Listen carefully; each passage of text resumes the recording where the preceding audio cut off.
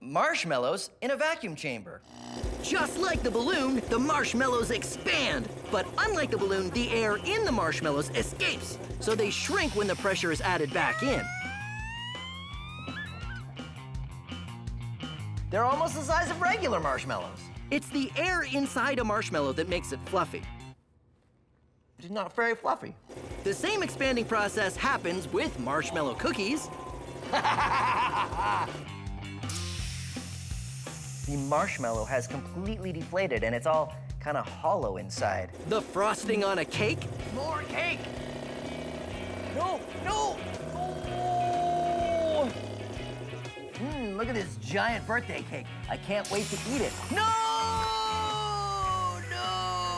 Why? Birthday cake!